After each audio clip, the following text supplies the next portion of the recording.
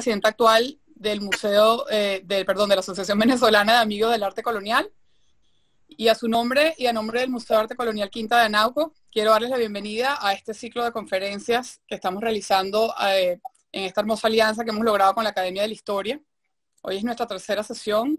Eh, hemos tenido una respuesta maravillosa y han sido de verdad unas conferencias interesantísimas que esperamos podamos seguir repitiendo y continuando este tipo de ciclos. Quiero recordarles que el, Museo de Arte Colonial estamos tratando de mantenerlo a flote y vivo y necesitamos el apoyo de todos para esto. Así que si pueden colaborar con una campaña de Global Giving que tenemos, es muy necesario porque no tenemos ningún otro apoyo sino de los, miembros y de los donantes. Entonces, en nuestro Instagram, que es arroba quinta de Anauco, este, lo pueden conseguir la información. Ahora los dejo con Carol Leal de la, de la Academia de la Historia.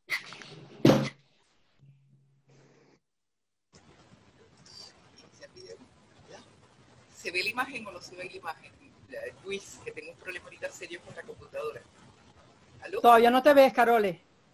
Eh, quedó congelada la imagen. Yo no sé si Luis, si Luis puede hacer algo allí o no puede hacer algo.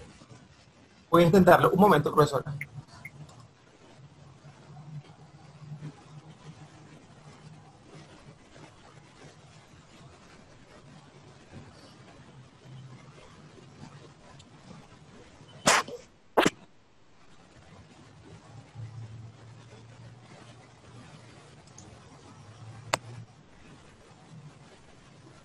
Intente activar su, su cámara ahorita. Ya lo activé. Ahora sí. Ya lo activé, pero igual yo lo sigo viendo congelado, pero puedo seguir hablando así, aunque esté congelado. Pero sí la estamos viendo bien, ¿oye? Adelante. Ok, gracias. Bueno, buenas tardes a todos y bienvenidos de nuevo a esta tercera eh, conferencia, tercera conferencia de este ciclo que hemos hecho en alianza con el Museo de Arte Colonial. Y hoy voy a tener el verdadero gusto de presentar Inés Quintero a quien casi todos conocen, pero yo quiero hacer una presentación bien detallada de, su obra. Eh, licenciada, magíster y doctora en Historia, profesora e investigadora jubilada de la Universidad Central de Venezuela. Fue directora de la Academia Nacional de Historia entre el 2015 y el 2019 y actualmente es su segunda vicedirectora.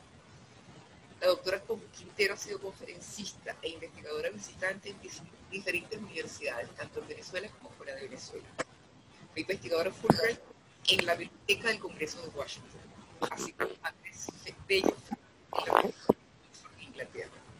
Y es autora de una muy numerosa obra de más que merecido éxito de historia, porque Inés ha logrado combinar la rigurosidad de investigación histórica con un lenguaje ameno que llega a todo tipo de público.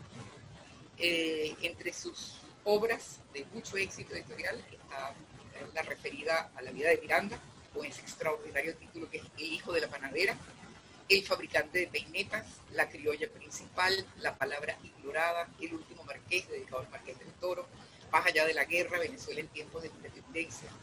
Y parte importante de su obra se ha dedicado a rescatar la historia de mujeres. Doctora Quintero, la palabra es completamente suya para que nos deleite con el fusilamiento de nuestro amigo Pierre. Muchísimas gracias, Carole. Bueno, y muchísimas gracias, Eugenia y, Luis Chacín, todo el equipo que ha estado apoyándonos para que podamos mm, avanzar en este ciclo que, que, verdad, para nosotros ha sido extraordinario. Estamos felices, la Academia y la Fundación Museo Quintanauco, por la receptividad y bueno, y por el entusiasmo. Además, no hay cosa que nos guste más a los historiadores que conversar sobre lo que hacemos. Y esta ha sido una, una extraordinaria oportunidad de intercambio, de reflexión y sobre todo de, diálogo sobre nuestra, nuestro pasado y sobre esos temas polémicos. En este caso, a mí me va a corresponder conversar sobre el fusilamiento de Manuel Piar, en qué medida tuvo que ver efectivamente con la guerra de colores, con la sedición, con el control de autoridad, y sobre todo porque se trata, dentro de esta idea que convinimos en discutir, de una de estas polémicas históricas de nuestra, bueno, del proceso de la independencia que, que ha generado muchísimas discordias, muchísimas controversias, muchísimas pasiones y que incluso transcurrido todo el tiempo que ha pasado desde que aquello sucedió hasta la actualidad, sigue siendo motivo de discordia, motivo de, posiciones encontradas. Y yo creo que eso es bien saludable, que esa es la idea, ¿no? que no haya una mirada única ni, ni monolítica sobre ningún hecho de la historia. En el caso del fusilamiento de Piar, mm, todo hace pensar que, toda esta polémica y toda esta discordia y todos estos enfrentamientos tienen que ver, bueno, por supuesto con muchísimos aspectos, pero yo diría que hay un elemento esencial que es que involucra directamente a Simón Bolívar. El hecho de que esté Bolívar involucrado en el proceso a Piar le da un carácter especial en la medida en que, bueno, hubo muchísimos fusilamientos, muchísimos muertos, muchísimas discordias y no todas han generado esta pasión y este enfrentamiento. Al mismo tiempo, porque esta, digamos, toda esta sensibilidad está asociada también a la fortaleza y, al, y, al, y a lo que ha representado el, el, culto a Bolívar, ¿no? Como un, como un recurso de, de, digamos, de difusión de los problemas que tienen que ver directamente con, con los, digamos, con las situaciones en las cuales ha estado involucrado eh, Simón Bolívar y, eso ha determinado en gran medida también el, digamos, la construcción de una, de una manera de entender y de interpretar el episodio que tiene que ver con Piar.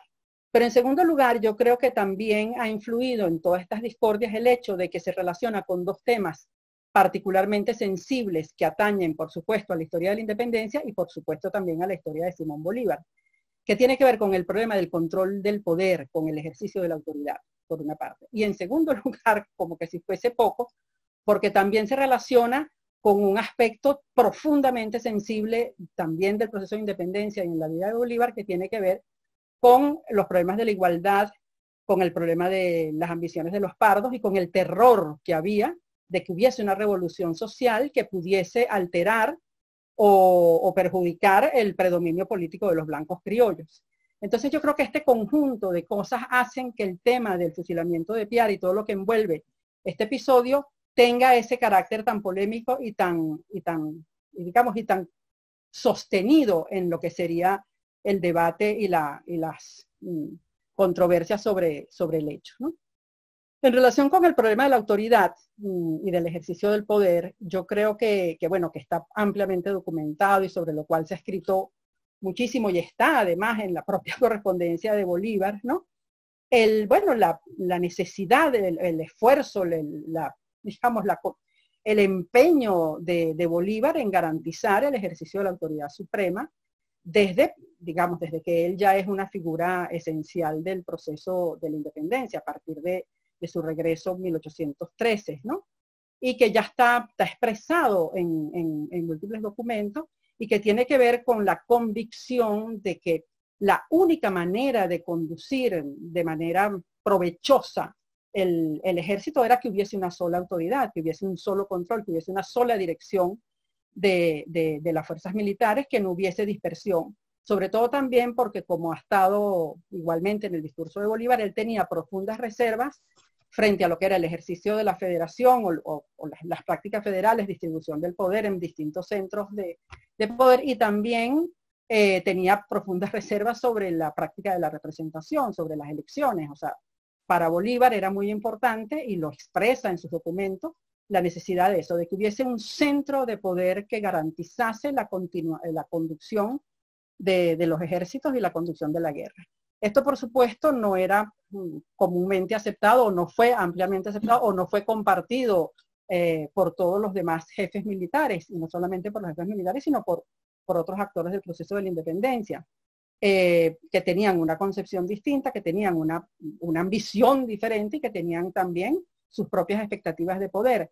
Todo esto, por supuesto, ha, sido especialmente, por ejemplo, con el caso de, San, de Santiago Mariño y en relación con, con, las disputas con el ejército de Oriente y con lo que y también con, con Pulido en Barinas, o sea, no hay un consenso ni una, ni una manera de resolver concertadamente este problema del, ejercicio de la autoridad y eso va a estar atravesando la guerra de independencia y todo lo que va a ser la actuación de Bolívar desde 1813 hasta la antesala del fusilamiento de Piar.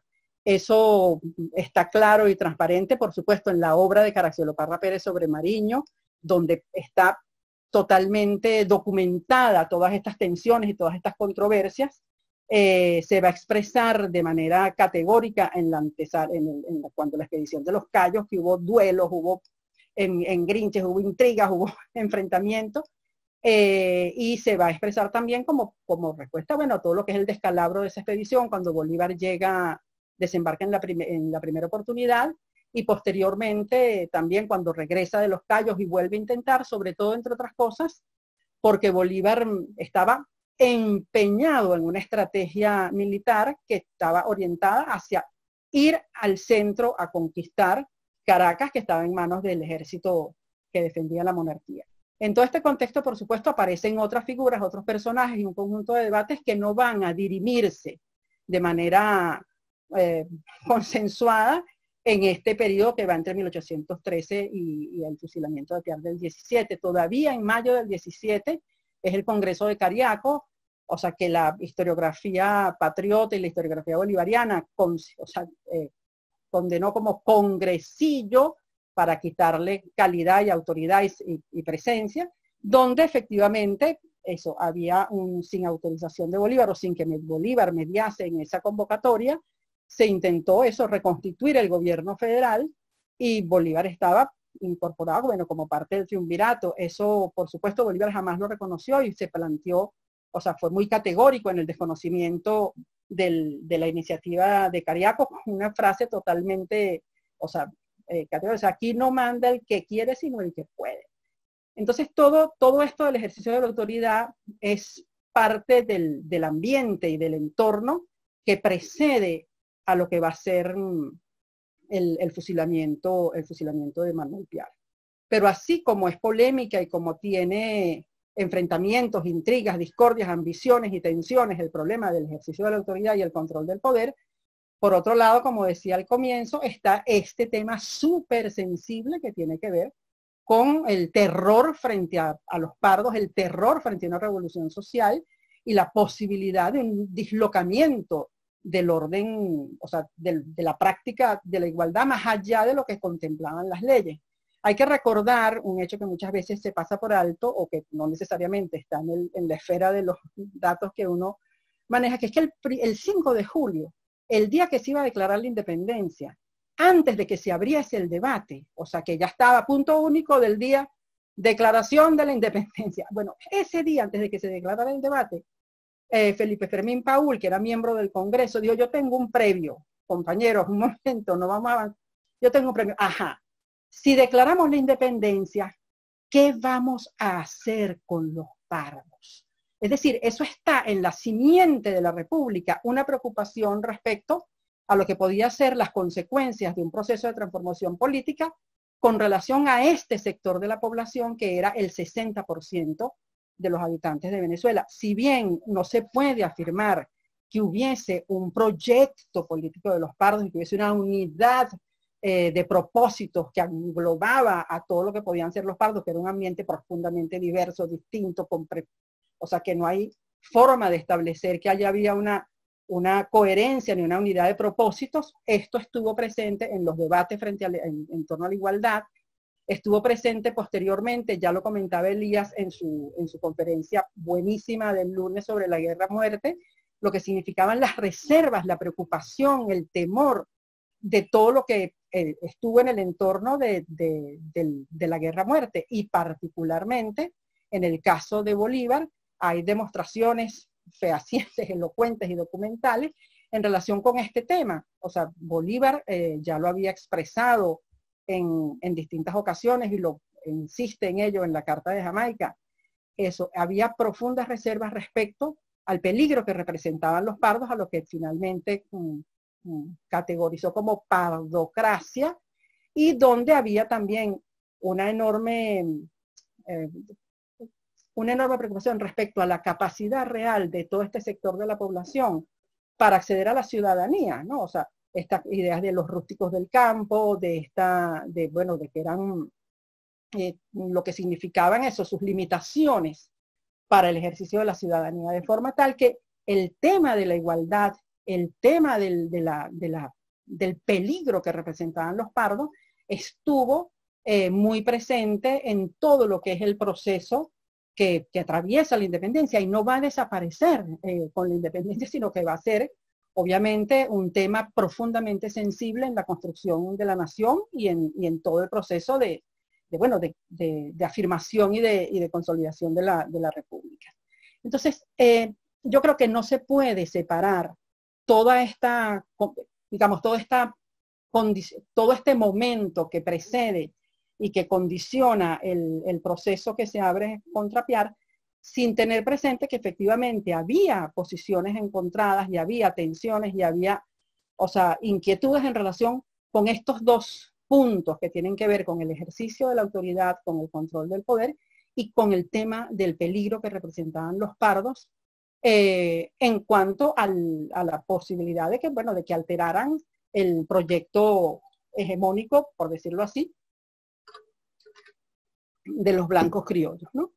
Entonces, ¿qué ocurre? Que cuando, cuando uno lee el manifiesto de Bolívar del 5 de agosto de 1817, declarando, o sea, en el cual, mm, eh, declarando mm, a, la, a fuera de la ley, ese es un documento que está muy fácil de acceso en internet, que ustedes se meten, se manifiesto el 5 de agosto de 1817 y lo pueden leer.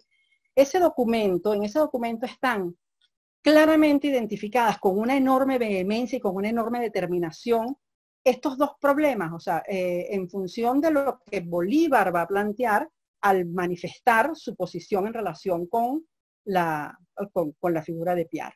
Esto, ese es un documento extenso, ese manifiesto, donde Piar, Manuel Piar queda realmente, o sea, totalmente descalificado moral, política, social y militarmente. Y ese, ese documento del 5 de agosto de 1817, eh, producido por Bolívar, atiende precisamente, bueno, un conjunto de problemas, pero da cuenta de, estas dos, de estos dos problemas esenciales que tienen que ver con la autoridad y con el problema de la, de la igualdad. O sea, en, en este documento Bolívar, ¿verdad?, descalifica a Piar, bueno, primero porque es un extranjero, o sea, primero, segundo porque niega su origen, o sea, al punto de que, o sea, de que al, no, al desconocer o al pretender desconocer a su padre y a su madre originales, no puede ser un buen ciudadano y mucho menos cumplir con las funciones de un militar. Habla, bueno, de su afán de enriquecimiento, de que siempre estuvo pendiente del botín.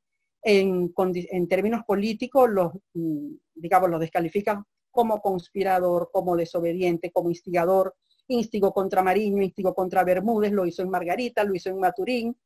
Hay una, un desmerecimiento de sus méritos, de sus triunfos militares, o sea, lo habla, bueno, como un estúpido jefe, incluso llega a decir que su presencia fue tan nula como la del último tambor para referirse a la presencia de Piar en la batalla de, el, del Juncal, ¿no? Que tenía falta de valor, que era un cobarde, que hacía, que tenía prácticas despóticas, tiránicas, que despreciaba la autoridad, que se abrogaba la autoridad suprema. no hay lo que Bolívar no diga respecto a Piar en ese manifiesto, que era instigador de la anarquía, que estaba proclamando los principios odiosos de la guerra de color, que pretendía destruir la igualdad, que estaba convidando a la anarquía, instigando a la guerra civil, que tenía méritos inferiores a las recompensas recibidas. y frente a esto, frente a toda esta descalificación rotunda en relación con la figura, con la práctica y con la presencia de Manuel Piar, va a ser, va a destacar otro, o sea, la antítesis, ¿no? Que es el sacrificio hecho por los blancos criollos que renunciaron a sus privilegios, que garantizaron el otorgamiento de la igualdad absoluta y que a nadie se le ha hecho injusticia por el accidente de su cutis. Es decir, está por una parte el, eso, el villano, el, instigador, el enemigo, el adversario que está representado en este pardo eh, que, representa Manuel Piar y por la otra los blancos criollos que en definitiva fueron los que construyeron los principios de la República y los garantes, en todo caso, de, la igualdad como, como un valor habiendo ellos renunciado a sus privilegios, a los que ellos tenían como, como figuras de, la sociedad mm, antigua. El último parrafito del, de este manifiesto, Bolívar dice, el general Piar ha infringido las leyes, ha conspirado contra el sistema, ha desobedecido al gobierno, ha resistido la fuerza, ha desertado del ejército y ha huido como un cobarde. Así pues, Él se ha puesto fuera de la ley. Su destrucción es un deber y su destructor un bienhechor. O sea, ya Pierre el 5 de agosto de 1817 está condenado culpable. Ha sido condenado por la voz y por la fuerza de la figura de Bolívar, que es, o sea, en todo caso, la autoridad que está tratando de imponerse en relación con, lo que ha sido esta dispersión y este conjunto de, enfrentamientos entre los jefes militares. ¿no? O sea, a partir de allí ya no hay ninguna fisura, ninguna, ningún miramiento, ninguna disensión. O sea, va a venir, o sea, los autos del fiscal que está mm, a cargo de Carlos Sublet, o sea, se constituye el Consejo de Guerra, todos los autos del fiscal, eh, o sea, todos los autos elaborados por Carlos Sublet son, o sea, están totalmente, eh, digamos, encaminados a dar cuenta o a demostrar lo que ya está descrito y, postulado en el, en el, manifiesto de Bolívar. O sea, que hay una conspiración para destruir el actual gobierno y asesinar a los hombres blancos que sirven a la República, desobedeció a las órdenes superiores y no reconoce a la autoridad suprema. O sea, la síntesis de Sublet es, Piar es el genio del mal, así lo llama Sublet. Eh, todos los testimonios y todos los, todos los testigos que acuden a, testificar en el juicio eh, van a ir por el mismo carril. O sea, allí no hay ningún testimonio, ninguna, ninguna manifestación que permita disentir de lo que haya sido, de alguna forma, mm, elaborado previo al juicio en relación con los delitos y los crímenes cometidos por, por Piar. Piar, por supuesto, la defensa, en la defensa de Piar hace Fernando Galindo, y Piar trata de, bueno, de, eso, es mentira. La única cosa que me dio Piar a, a, admitir es que, bueno, que sí, que a él, que la tenían cogido con él por ser pardo, ¿no? Pero en todo caso, eh, o sea, todo esto va a generar, o sea, un desenlace que, que es un desenlace que está anunciado desde el momento en el que Piar es declarado fuera, fuera de la ley. ¿no? Eh, como se sabe, bueno, es sentenciado a, bueno, a morir en el poletón mm, fusilado, culpable por los crímenes de insubordinación a la autoridad suprema, conspiración contra el orden, contra la tranquilidad pública, por sedicioso y por desertor. ¿no?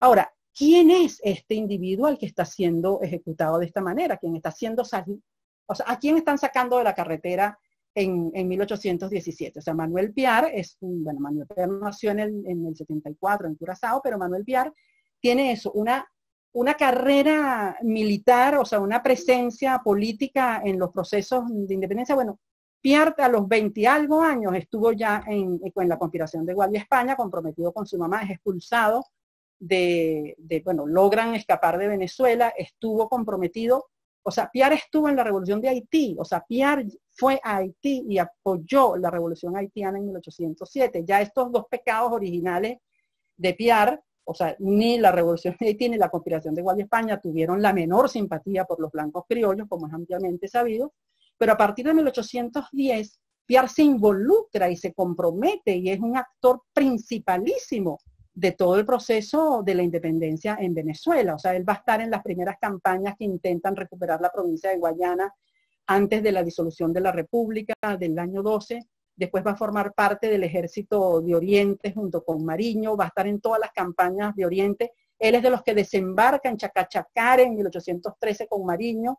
Eh, después va a estar, o sea, en todo lo que son las, las campañas de ese periodo en el ejército oriental va a participar eh, en el año 16 en, la, expedición de los Cayos en medio de todas las tripulcas y todos los encuentros y todos los enfrentamientos que caracterizan ese episodio. Ah, mm, posteriormente, luego del fracaso de, los intentos de, posteriores a la expedición de los Cayos, Piar va a ser el estratega esencial de la campaña de Guayana. O sea, quien ve lo que representa Guayana como, no solamente como botín, por lo que representan las misiones capuchinas que se encuentran allí, sino como sitio estratégico, por lo que representa el Orinoco. Esa campaña de Guayana concebida estratégicamente por Piar es un factor esencial eh, para lo que va a ser la consolidación posterior de la República y, lo que va a ser la, campaña, no solamente del llano, sino todo lo que va a significar la, digamos, la, culminación del proceso de independencia. De manera que tal, mientras Bolívar desembarca mm, mm, de, de, su segunda expedición de los Cayos, empeñado en que hay que ir para Caracas, Piar ya va embalado hacia en su campaña del sur, ya ha tenido los triunfos que ha logrado adquirir y, finalmente, o sea, Bolívar se convence de que efectivamente la posibilidad de avanzar desde Guayana eh, es muchísimo más sólida y contundente que el empeño, o sea, sin ningún tipo de, resultados de tratar de, conquistar el centro, de forma tal que el hombre que va a ser el perseguido, que va a ser mm, eh, sancionado, que va a ser mm, eh, declarado culpable y que va a ser ejecutado, es, es un hombre que, que ha estado vinculado al proceso de independencia y que, por supuesto, como muchos otros en el contexto de lo que significó las ambiciones, las intrigas, las tensiones, la diversidad de posiciones en relación con la estrategia militar, pero también, o sea, proyectos dispares, o sea, no había una unidad ni una unanimidad en la conducción del proceso y obviamente, o sea, tenía posiciones encontradas con relación a lo que podía ser el predominio de Bolívar y el predominio de seguramente de, de los blancos criollos, que no escondió y que seguramente exteriorizó y manifestó como él mismo lo llega a decir en el juicio en relación con, bueno, con esa condición particular, bueno, de, la desigualdad como, como una práctica política, porque una cosa había sido la declaración de la igualdad por parte de la Constitución de 1811 y otra las prácticas sociales, o sea, que, que, que seguían existiendo en la sociedad y que no permitían efectivamente un ejercicio eh, que, garantizara esa práctica de la igualdad tal como estaba eh, sancionada y concebida en términos de la igualdad ante la ley. ¿no? Ahora, después de que Piar es ejecutado y de que esta figura que tiene esa presencia, que tiene esa relevancia, que tiene esa significación militar y política, o sea, eh, la, la, proclama de Bolívar el día siguiente de, del fusilamiento de Piar es eso, insistir en, lo que representa su autoridad y, bueno, y en, insistir en la descalificación de lo que Piar representaba como amenaza para la República. Es una proclama que también la pueden revisar en Internet, que simplemente al poner la fecha, proclama el 17 de octubre, ustedes la van a, conseguir.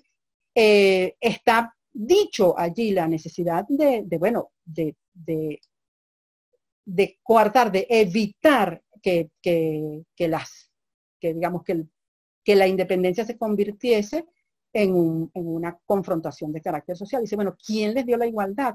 ¿Quién les dio la, eh, libertad? ¿Quién les dio la independencia? O sea, nosotros. Por lo tanto, este señor que anda soliviantando y, haciendo todo esto, está atentando contra ese proyecto de la República constituido y, ejecutado por, por, los blancos criollos. Incluso ahí va a reiterar su condición de jefe supremo, del garante de sus derechos y de las bondades del gobierno republicano, de la libertad y la igualdad, y va a contratar otra, otra vez el cruel parricida en el que, que espiar frente a su jefe, a su jefe, que es digno de confianza y quien deben que, o sea, lo que él representa como, como figura garante de todos estos principios y todos estos derechos. O sea, mm, ¿verdad? Bolívar nunca se desdijo en relación con, lo que había, o sea, con, la ejecución de Piar y con lo que eso representó. Conversando con Ronald, con Ronald Edman sobre estas cosas, eh, nos recordamos de una carta de Bolívar a, a, a Páez en el año 26, ¿no? En esa carta de Bolívar a Páez, le recuerda, o sea, ya estamos hablando del momento de la cosiata, de todo lo que significó el movimiento en Caracas de 1826, sobre lo cual sería bueno que tengamos un encuentro un día. Eso es un tema que maneja ampliamente mi querido Elías Pino, ¿no? Pero en esa carta, que es una carta del 11 de diciembre de 1826, ¿no? Eh, Bolívar le recuerda a, Páez, ¿no? Que los que se meten con él salen fregados. Y le dice, o sea, le dice, Conmigo ha tenido usted gloria y fortuna, conmigo debe esperarlo todo. Por el contrario, contra mí, el general Castillo, ese fue el general Castillo Irrada en Cartagena, se perdió. Contra mí, el general Piar se perdió. Contra mí, el general Maliño se perdió. Y también y sigue con Torretagli y con otro poco de gente. O sea, en dos platos lo que está es ratificando que, que él es el garante, o sea, que él es el jefe supremo y que quien se enfrenta a él está frito, o sea, no tiene vida y dice al final, parece que la providencia condena a la perdición a mis enemigos personales. O sea, ya no es él, es la providencia, son asuntos divinos.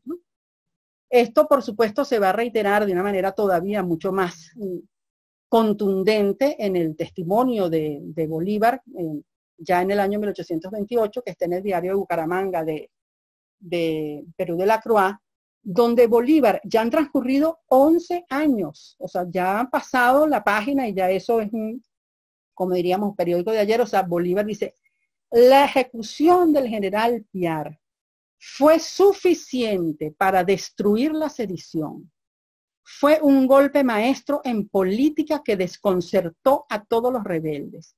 Desopinó a Mariño y a su Congreso de Cariaco puso a todos bajo mi obediencia, aseguró mi autoridad, evitó la guerra civil, me permitió pensar y efectuar la expedición de la Nueva Granada y crear después la República de Colombia.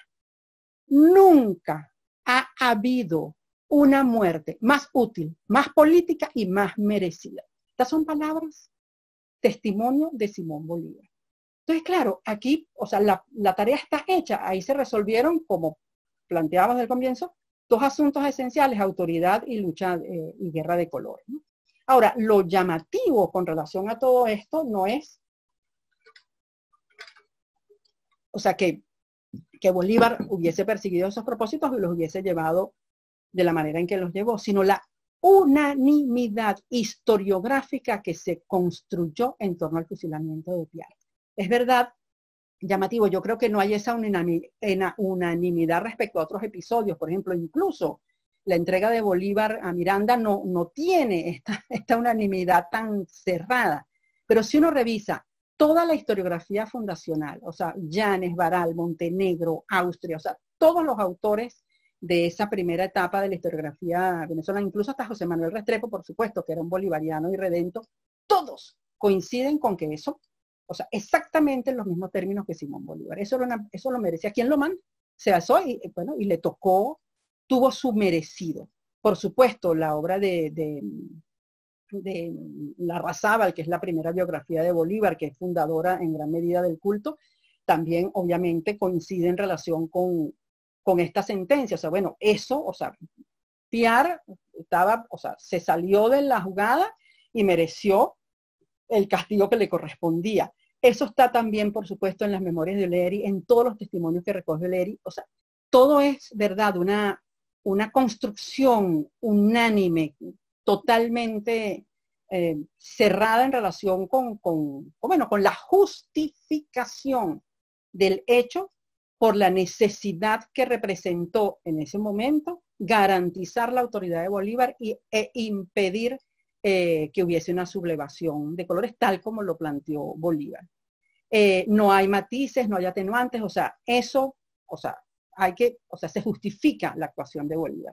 Pero esto no solamente ocurre en el, en el, siglo XIX, o sea, en el siglo XX se mantiene esta, esta lectura de, del hecho del fusilamiento de, Piar. Por ejemplo, la obra de, José Luis Fortul, que es una obra de primera significación a la historiografía venezolana, o sea, la historia constitucional de, Venezuela de Gil Fortul, o sea, Gil Fortul coincide plenamente en relación con, este, con esta argumentación, ¿no? O sea, destaca el genio violento de Piar, su ambición, su envanecimiento, y dice, Bolívar salvó de un nuevo desastre a la naciente república. O sea, Bolívar nos salvó, ¿no? Eh, con, todo lo que, con todo lo que eso representó, ¿no? Y eh, incluso Em, dice, dice Gil Fortul en este alegato, porque este, el libro de Gil Fortul es de comienzos del siglo XX y Gil Fortul en el periodo de Gómez le va a corresponder ser mm, figura de primera línea. Y en ese contexto, en 1913, eh, se hace toda una, reactiva, toda una recuperación de figuras de la, de la independencia y se incorpora a Piar al el cuadro de Piar en el hemiciclo. Luis, yo le mandé el cuadro de, de Piar a, Luis porque esa imagen de Piar se va a colocar en el hemiciclo en, mil, en 1913 junto con Juan Germán Rocio y Miguel José Sanz. O sea, se recuperan a unos civiles y se recupera la, la imagen de, de, Piar, ¿no? Y eh, este cuadro de Piar, que es mm, de, este, de Juan, Pablo Wenceslao Hernández, ¿no? Eh, que es el mismo que pinta a, a Rocio. O sea, es como, bueno, aquí está, pues ya, córtenla, ya se terminó el problema, ya está Piar en el hemiciclo, en el salón elíptico, ¿no? Y, y dice, y dice el propio, el propio Gil Fortul en relación con esto, con, esta, con esta recuperación de la figura de Piarno, que la historia eh, deja los errores de sus antepasados en el piadoso silencio del sepulcro. La república es la madre de sus hijos y no recuerda sino las acciones nobles y heroicas. Claro, no se está resolviendo, no se está refiriendo a los errores, sino de Piar, ¿no? Porque no hay otros errores que, que destacar, ¿no? Entonces es interesante ver cómo la recuperación de la memoria de Piar se hace dentro de la justificación de la, de la acción de Bolívar, entre otras cosas, porque ninguno, dice Gil Fortul, como él, tenía a un tiempo el genio político y el genio de la guerra, de forma tal que es totalmente justificable que Bolívar hubiese actuado de la manera en que actuó. Obviamente, durante el siglo XX está, por supuesto, la obra de, Vicente Lecuna en su catálogo de errores y calumnias, a donde le dedica un capítulo completo a la ejecución de Piar, por supuesto, para justificar y, favorecer y, argumentar a favor de la necesidad de esa ejecución. Ahora, lo llamativo es que, o sea, porque bueno, figuras como el Fortul o como, o como Lecuna, que fueron esos que estuvieron en el discurso también de consagración de la, de la figura de Bolívar, pero también hay otra cantidad de, autores del siglo XX que, que, bueno, que, que convinieron en argumentar exactamente en los mismos términos. Por ejemplo, en la obra de Liébano en la lesión Liébano Aguirre, Gerard Mansur, que no tiene nada que ver con este pleito, también plantea esa necesidad. John Lynch, o sea, el inglés ponderado y así, también, o sea, llega a la misma conclusión, ¿no? Eh, de forma tal que, que, verdad, que sí me parece bien importante ver el peso que tiene esta argumentación en la construcción historiográfica y en la ausencia ni siquiera de, de algún de alguna referencia medianamente movida o crítica en relación con esta. ¿no? Va a ser también en el siglo XX cuando se van a plantear los primeros debates en relación con, esto. O sea, yo creo que la obra de Caracielo Parra Pérez, obviamente dedicada a Mariño, son cinco, ocho tomos que, que, están, o sea, Mariño y, la, eh, y independencia, después Mariño y las guerras civiles, o sea, deja ver la trama de intrigas, de, de, de posiciones diversas, de complejidades que están en torno a lo que es el proceso de independencia y a la dificultad de erigir un solo centro de poder y una, y una manera de, digamos, de, conducir la, guerra en, una sola dirección. Entonces, Parra Pérez, cuando se refiere a esto y hace todo el, digamos, toda la, toda la descripción y todo el análisis del contexto y de cómo se va armando el, la causa contra Piar, cuando hace mención a, a todo el alegato del fiscal, y que bueno, que ya Piar está, o sea, llevado pues al, al, o sea, inevitablemente a, su, a su ejecución y condena, o sea, él dice, refiriéndose a Vuelve, dice, bueno, y entonces allí el león zamarreaba su presa. O sea, la, la descripción física, bueno, ahí ya estaba, o sea, zamarreando la presa. Es decir, o sea, es la manera eh, en que Parra Pérez produce un, un, criterio medianamente crítico, o sea, en relación con el tema. También en la obra, en, la biografía de Elías, Elías Pino, nuestro querido Elías, que está por aquí en la plataforma Zoom, también hace una consideración crítica en relación con el tema. Y lo que él plantea es, bueno, sí, estaba alzado y andaba en todo esto, pero básicamente lo que explica es, bueno, no puede ser que este tema no, no genere un, mínimo de, reflexión, ¿no? Y sobre todo pretender que, que, bueno, que que eso pueda ir en el contexto de la, de la justificación, ¿no? Entonces, bueno, eh, lo que plantea es, bueno, sí, para llegar, a, para llegar a la cúspide, Bolívar implicó que hiciera sus ajustes de cuenta, ¿no? Pero que estos ajustes de cuenta, de alguna forma, las biografías le han pretendido mm, bajar el, el, volumen o subestimar, ¿no? Y que, bueno, que es importante que lo tengamos en cuenta a la hora de establecer una reflexión crítica sobre estos hechos. Ahora, no, no es muy abundante la, construcción crítica sobre el tema. Pero a esto se suma la defensa de Piar, porque obviamente este debate no se circunscribe a la figura de Bolívar, sino que también involucra a los defensores de Manuel Piar, ¿no? que también pretendieron o, o, buscaron construir un discurso que pudiese justificar y sobre todo defender, reivindicar la figura de Manuel Piar, ¿no?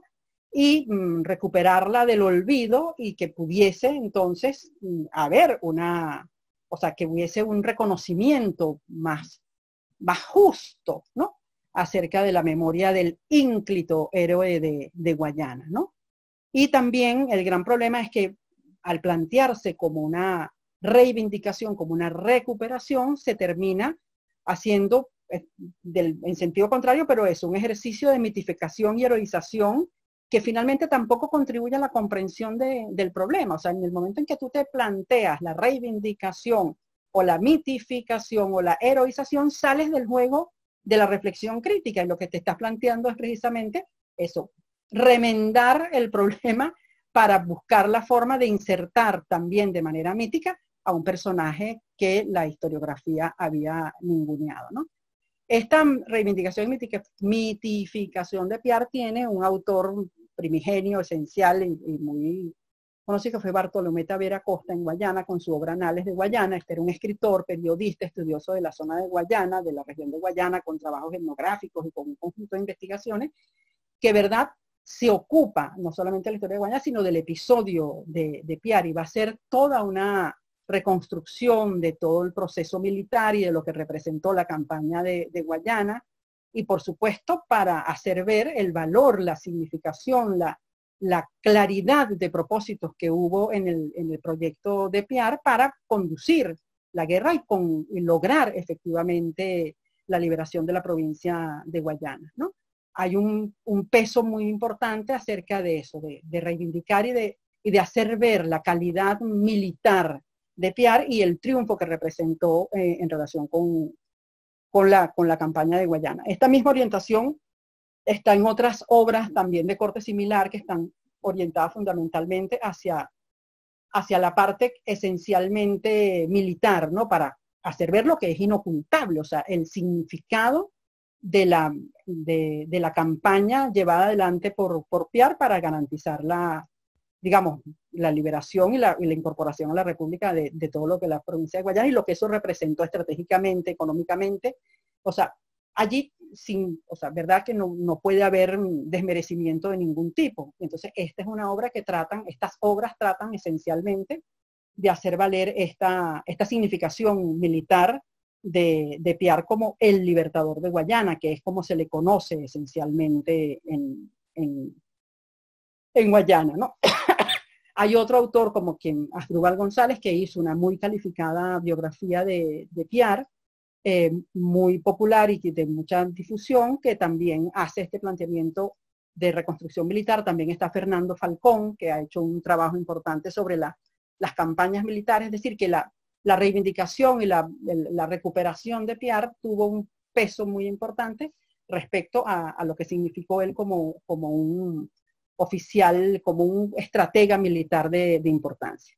No obstante, y llama la atención, por ejemplo, el libro de Asdrúbal González, que es un libro muy bien documentado, incluso Asdrúbal González, o sea, hizo es una investigación bien acuciosa en relación con, con, la figura de Piar y su origen, a lo cual nos vamos a referir inmediatamente, pero en esa obra que pretende reivindicar a Piar se cae también en la trampa de la justificación en relación con Bolívar, porque el propio Asdrúbal González llega a decir, si el juicio a Piar, como hemos sostenido, fue consecuencia de un acuerdo entre las altas jerarquías del ejército para destruir una facción que amenazaba a la naciente república, el solo hecho de la independencia conquistada justifica la medida. O sea, se vuelve a la trampa de la justificación, que es eh, parte del problema que está asociado a este, a este tema. ¿no?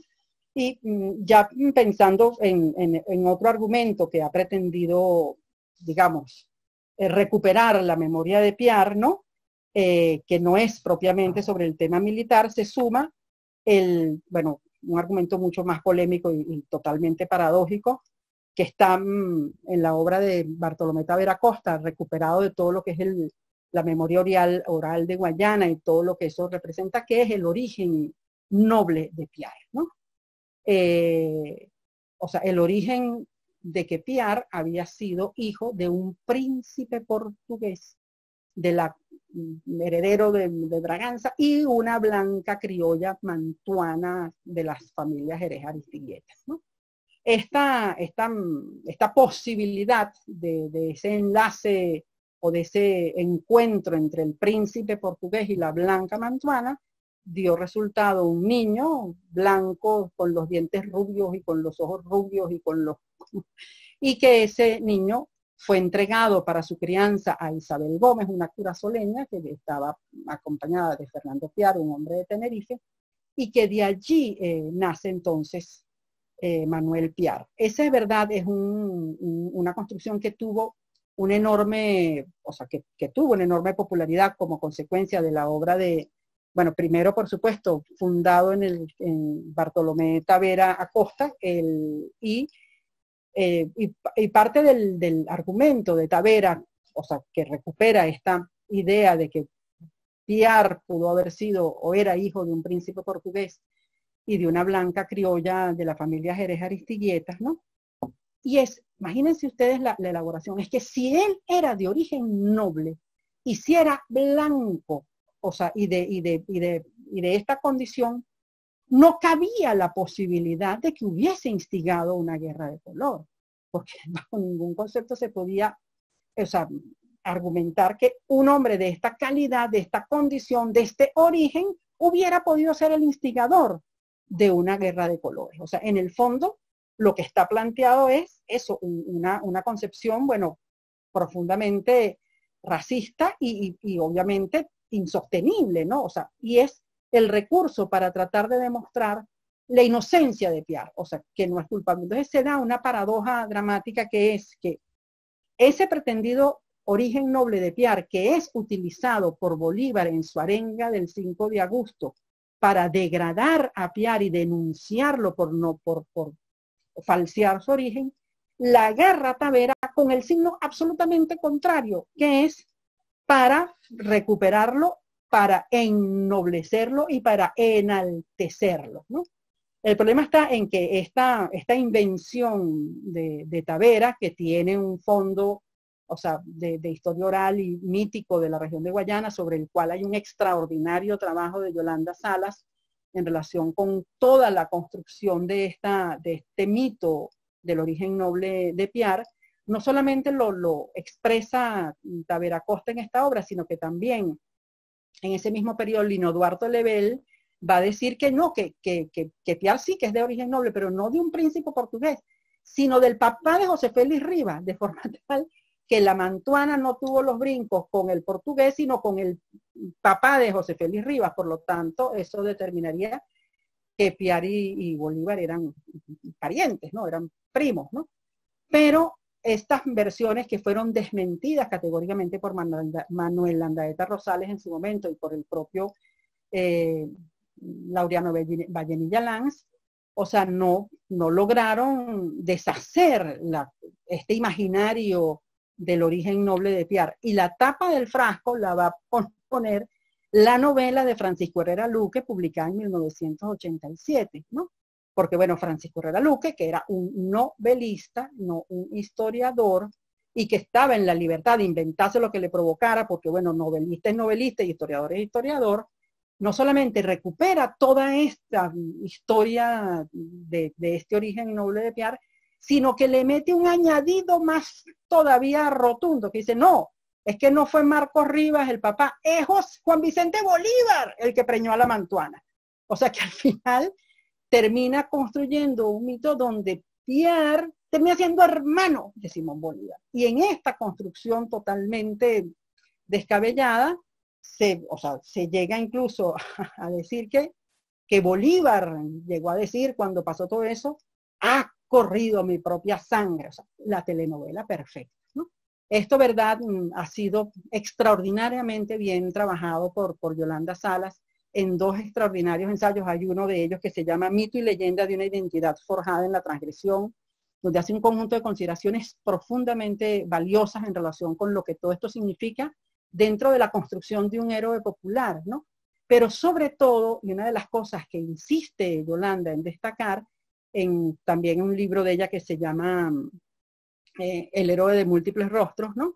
Es cómo se plantea una paradoja dramática, que es que siendo Piar un hombre de origen popular, hijo de una mulata llamada Isabel Gómez, perseguido y fusilado por promover la igualdad entre los suyos, como es recordado en Guayana, sigue habiendo en la memoria local la percepción y el recuerdo de que era el hijo de un príncipe portugués, lo que termina sea, la negación absoluta de su origen, de su desempeño militar, de su condición, incluso de su disidencia contra el predominio y la autoridad de Bolívar y contra el predominio y la autoridad de los blancos, que es al final mucho más relevante y significativo de lo que representa este episodio como parte de la complejidad y de las polémicas y de las contradicciones que estuvieron presentes en nuestro proceso de independencia.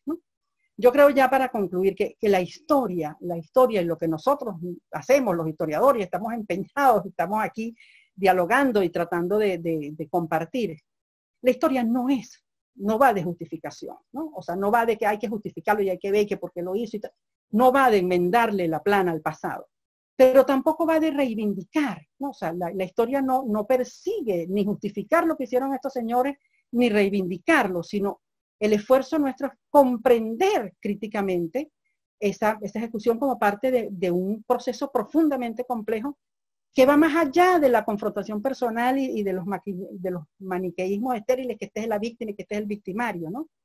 O sea, aquí lo que está planteado es de qué manera, o sea, cuál fue la forma en que se resolvió una disputa de poder en ese contexto y de qué manera Bolívar logra consolidar y garantizar no solamente su predominio político, sino el de los blancos criollos, o por lo menos esa es la pretensión, ¿no? Entonces, esto nos sirve, bueno, por supuesto, para desmitificar a los héroes y sacarlos de esta aureola de perfección y de, claridad y de, y de, bueno, de, estatuas, ¿no? Pero también para tener presente lo que representó eh, la independencia, mucho más allá de esta idealización heroica a donde todo el mundo brilla y donde no hay, o sea, no hay matices, no hay transgresiones, no hay, no hay barbaridades, ¿no? Pero yo pero al final yo creo que, lo más importante de todo esto es tener en cuenta que, que dos problemas tan fregados, tan importantes, tan sensibles, ¿no? Como el del, de la práctica de la autoridad, el de reconocimiento de la autoridad y del poder, y el tema de, la igualdad y de la, y de la ambición, la llamada ambición de los pardos, ¿no? Se resuelva por la vía de la acción de un individuo, ¿no? De un individuo, llámese Simón Bolívar o llámese como se llame, ¿no? Sobre todo porque es la acción de ese individuo lo que va a o sea, con, el propósito de eso, de, lograr consolidar su, autoridad y su proyecto político utilizando el discurso, por una parte, o sea, la, capacidad de convencimiento y de actuación que tiene, obviamente, la palabra y el discurso de Bolívar, ¿no? Y también, o sea, el control de, de una alianza y de un, y de un, consejo de guerra que legitime esa, esa acción.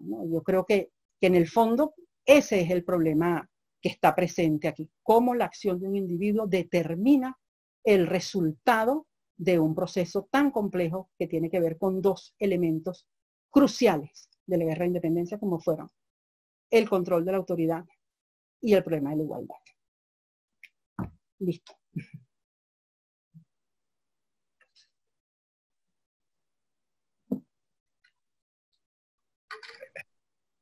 cerrar. Ya estoy, ya se oye. Sí. Ya se oye, ahora sí se oye. Hola, Inés, gracias, maravillosa tu, presentación. amena, agradable, como decía por allí Elsa York. Te voy a leer, bueno, yo creo que en buena medida algunas de las preguntas ya han sido contestadas a lo largo de tu exposición, porque las primeras inquietudes tenían que ver eh, con el origen, pues quién era la madre de Piar, si era verdad que era hijo de una de las Guetta, si era prima de Bolívar, etcétera. Sí, cuál era el origen real y lo que había dicho Herrera Luque también. Entonces, eh, creo que esas preguntas ya las has ha contestado en un sentido, salvo que quieras ahondar algo más en eso. Eh, no sé si quieres ahondar más en eso, pero los comentarios iban por ahí. Las primeras preguntas, las iniciales empezaron por allí. Muy bien. Luego hay otras preguntas más puntuales. No sé si quieres empezar con, reforzar lo de el carácter no. no, era Luque, ¿sí? Gracias, Carole. No, verdad que, que, bueno, que este es un tema, por supuesto, la, este libro de Reraluque fue un bestseller, o sea, tuvo un éxito profundo porque, bueno, porque fue una novela de, de mucho, de mucho interés y, y, sobre todo porque, bueno, porque el hecho es polémico. No obstante, hay más que evidencias documentales, no solamente está la partida de bautismo de Pierre rescatada en, en, Holanda, están los testimonios de Isabel Gómez, la correspondencia de Isabel Gómez, que era la, verdad, la madre legítima de Pierre, ¿no? Eh, incluso su testamento, donde ya se eh, manifiesta que ella fue la madre de Pierre, su carta a Bolívar solicitando la pensión que le correspondía como madre de Pierre 10 años después del fusilamiento uh -huh. de Pierre, donde dice, porque mi hijo desapareció. O sea, ni siquiera no, no, le dice, mira tú, desgraciado que lo mataste.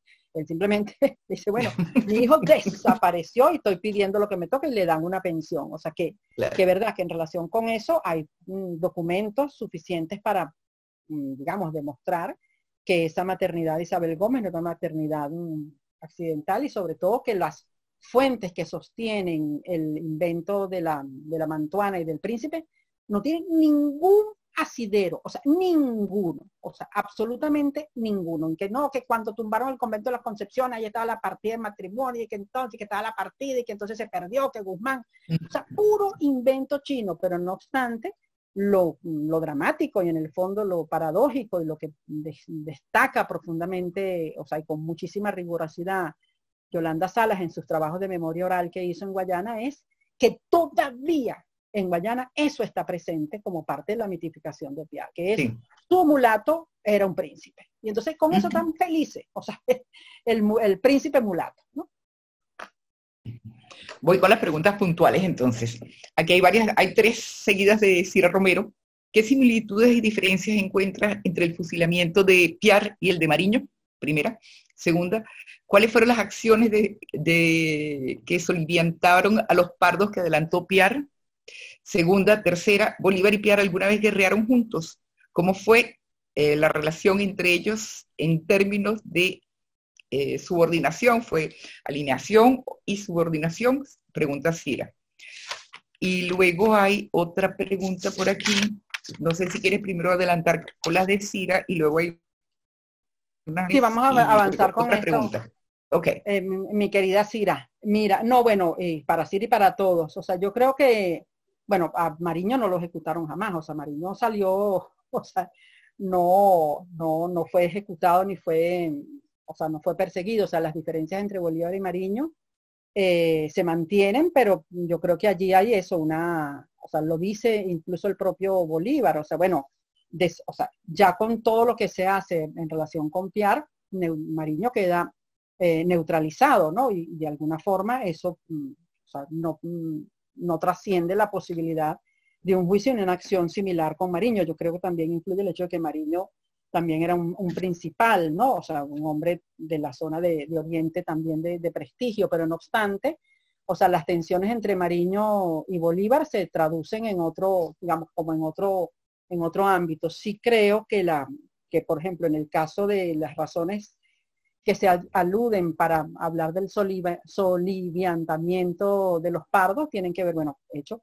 por supuesto, con el origen de Piar, o sea, hijo de una, independientemente de que las descripciones no lo ponen como un, un pardo en el sentido de, de, una piel más pasada de horno, pero en cualquier caso, eso él tiene en su, digamos, en su haber, haber estado nada más y nada menos que con Guali España y después en Haití, que esos que ya eran referentes políticos peligrosos, pero también, o sea, hay que ver lo que significaban estas tensiones y, esta, y estas, o sea, no era un invento realmente de Bolívar, de que había incomodidad y que había tensiones y que había ambiciones, ¿no?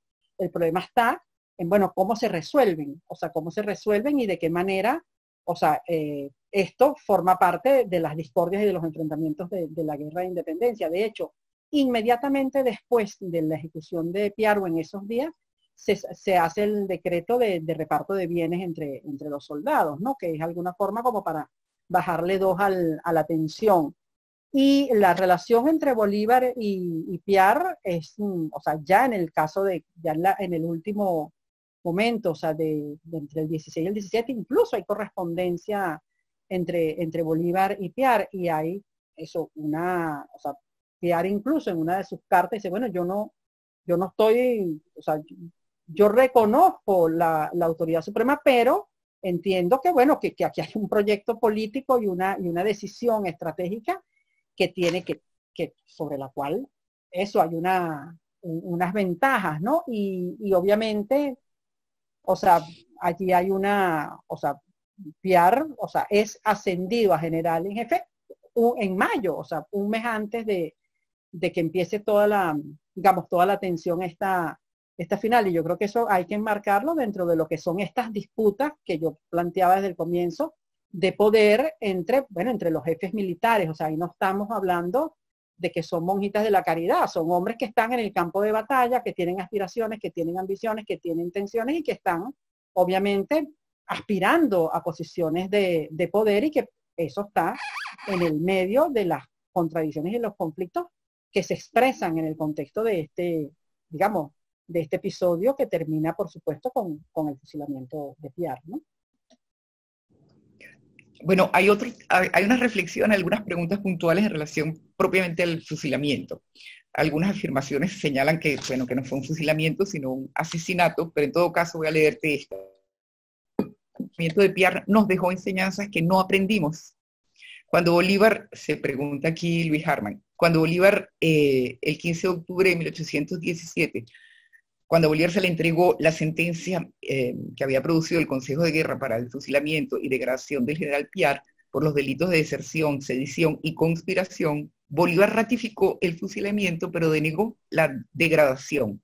Déjame cerrar aquí.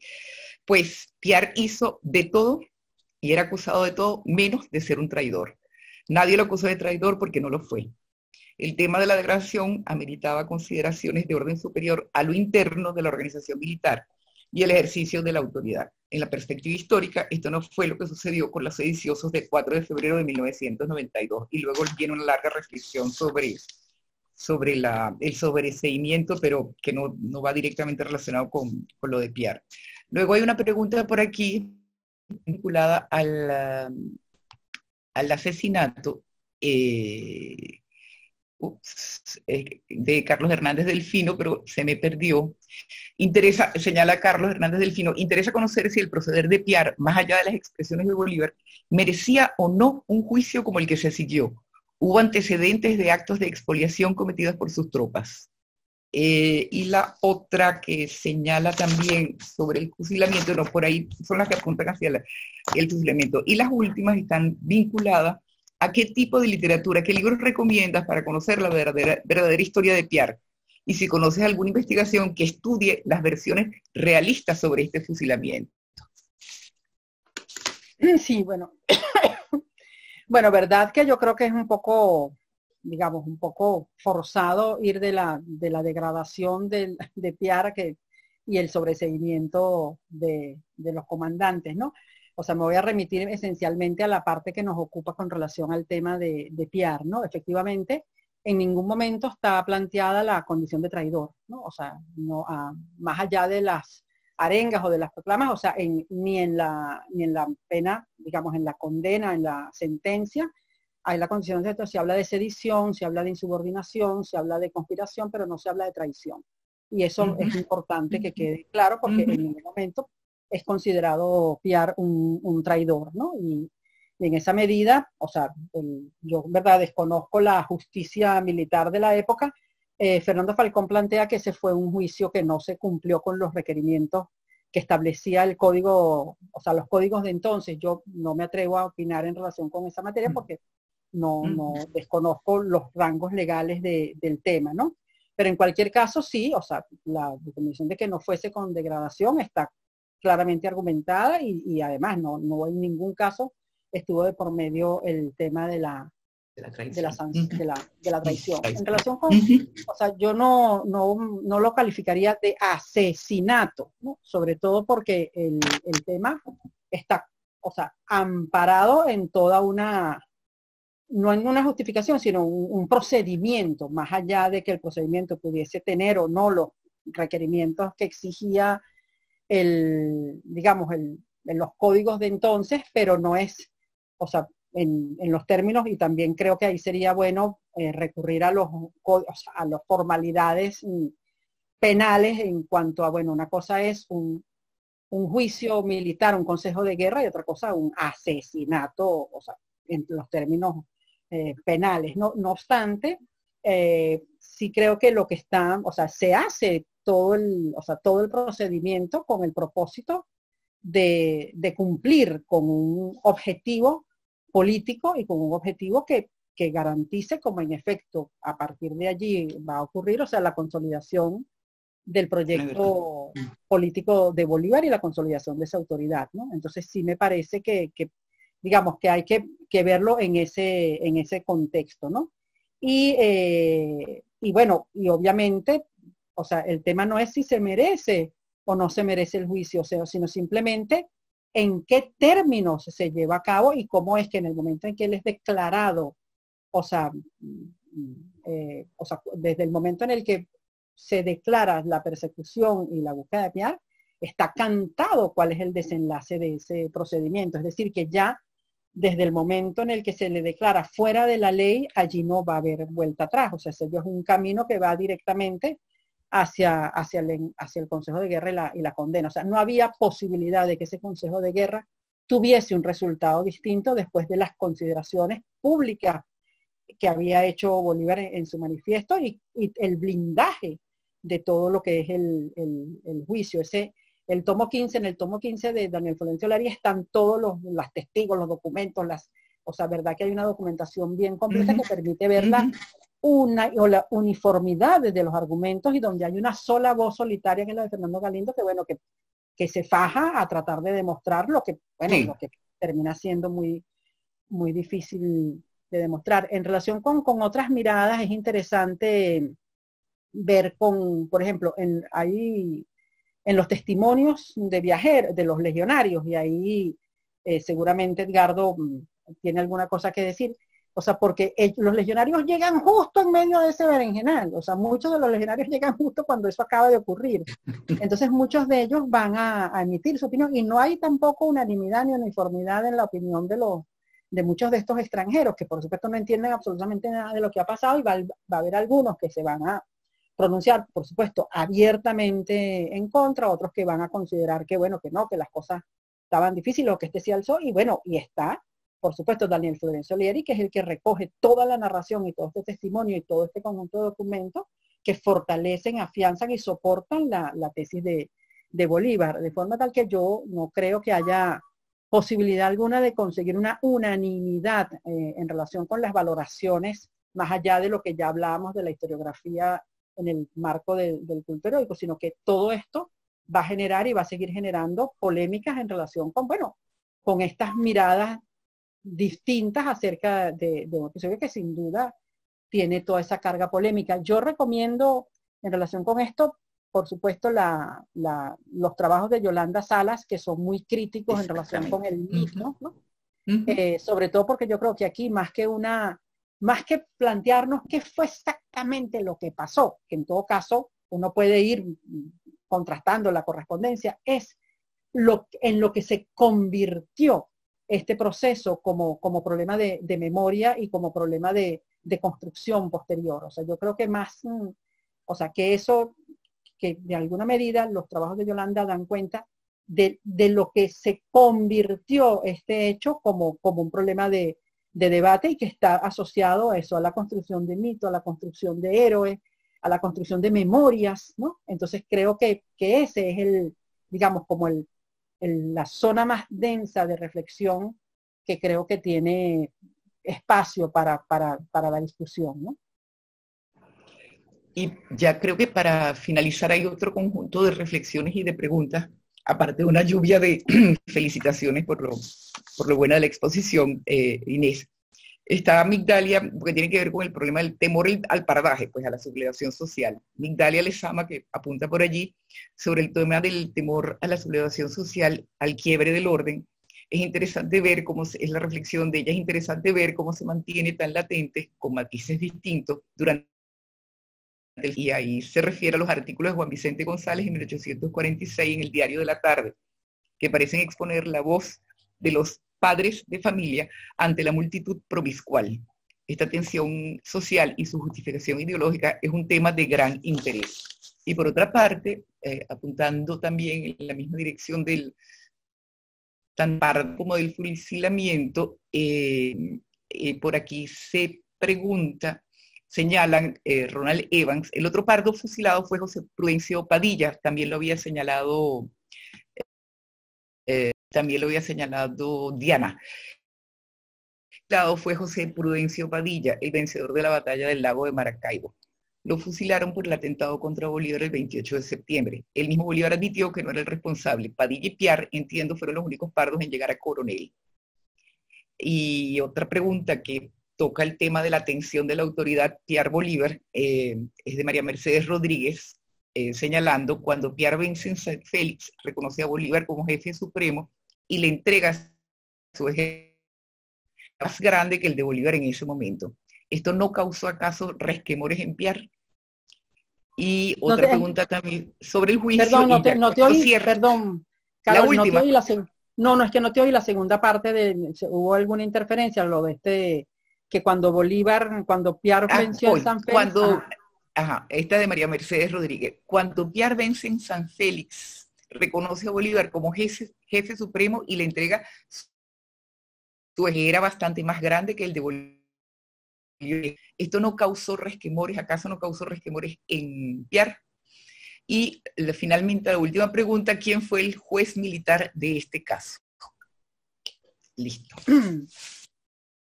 Bueno, el, en relación con, con, el temor de los, con el tema de los pardos, ¿verdad? Bien bueno, Migdalia un abrazo. O sea, eh, el caso del, del temor al paro, por supuesto, eso no va a, eso va a estar presente como lo dijimos en, o sea, desde el origen, desde el del inicio del, de la construcción republicana y no desaparece. Y bueno, y por supuesto va a estar en, en el contexto de la guerra federal y, bueno, y podemos seguir por allí al siglo XX con, con cierta tranquilidad, ¿no?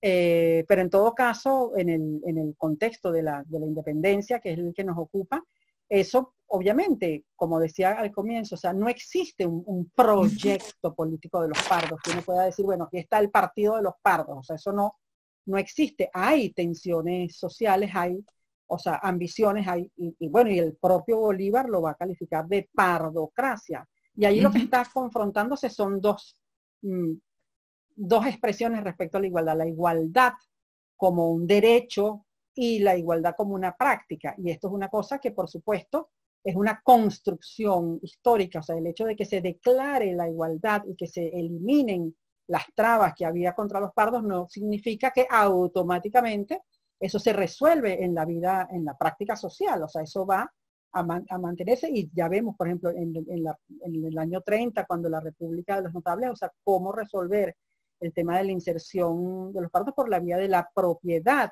y del voto censitario. O sea que eso es un debate que por supuesto atraviesa todo, todo el siglo XIX y que va a estar obviamente en, en, los debates, o sea, obviamente Juan Vicente González en el año 46, cuando todo el, tema del Partido Liberal y el terror que significa mm, el soporte al, al, proyecto de los liberales y de, y de la figura de Antonio Locayo Guzmán. O sea que, que, y por eso yo insisto tanto al, al finalizar que un tema tan sensible, tan complejo y tan, y tan crucial que, que, tiene que ver nada más y nada menos con la práctica de la igualdad y con, el con los debates en torno a la igualdad, quedan en manos de, de, un individuo, que es el que al final ejerce el poder en función de, de tratar de, de, socavar o de impedir o de, o de mm, ponerle un freno a, a un proceso que no depende de la autoridad de, de un individuo, ¿no?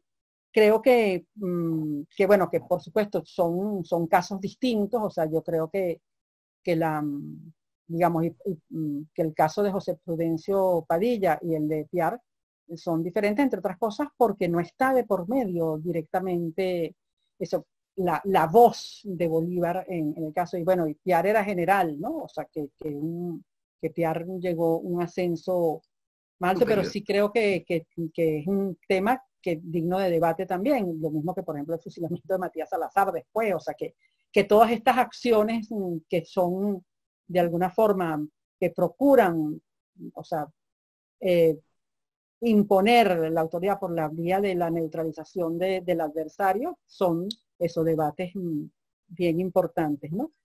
Eh, en, caso, en el caso del reconocimiento de, de, de Piar, de la autoridad de Bolívar, es, así, o sea, hay un reconocimiento de la autoridad. El hecho de que se reconozca la autoridad no quiere decir que desaparezcan las diferencias ni las distinciones. O sea, una cosa es el reconocimiento de la autoridad y otro, eso, las tensiones y las ambiciones que están en, en esas disputas que no van a, a, desaparecer. Incluso el hecho de que, de que Piar sea fusilado y sacado del juego no, no eliminan las ambiciones. Lo que pasa es que neutraliza y le abre el camino a Bolívar uh -huh. para una institucionalización política que está, que está discutida desde el año 13. O sea, cuando él pone a Francisco Javier claro. a hacer el proyecto eh, de gobierno provisional, o sea, eso es un debate que va a atravesar todo este tiempo. Está las, las tensiones militares, pero también las tensiones en torno a, bueno, a dónde, dónde está el principio de la legitimidad política, ¿no?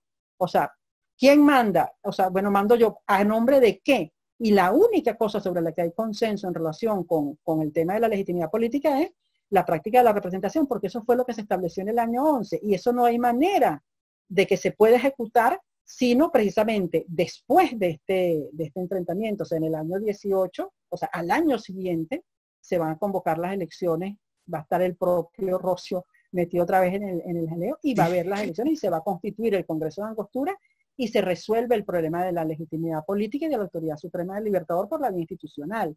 Pero eso lo precede este, este episodio, que bueno, que tiene que ver precisamente con, con cómo dirimir estas diferencias y de qué manera se, se resuelven por la vía de la, de la imposición de la autoridad. ¿no? Okay. Bueno, Inés, muchísimas gracias ahí de verdad y gracias a todos los participantes por su pasión y su interés y y hay una lluvia de felicitaciones maravillosas para ti en tu condición no, de extraordinaria gracias. Expositora y, y, y, y, la maravilla de, de, lo que has presentado. Y gracias a todos por estar aquí. Nos vamos a ver bueno, tenemos cita el próximo miércoles con nuestra querida Carole Leal. Uh -huh. Así que los esperamos el, el próximo miércoles. Muchísimas gracias por la receptividad, ¿verdad? Y por el entusiasmo. Y bueno, y nos anima a seguir en esto. Saludos a todos nos vemos el miércoles entonces. Y gracias por esas felicitaciones para Inés, de verdad que excelente Inés. Bravo. Gracias. Sí. Mi amor.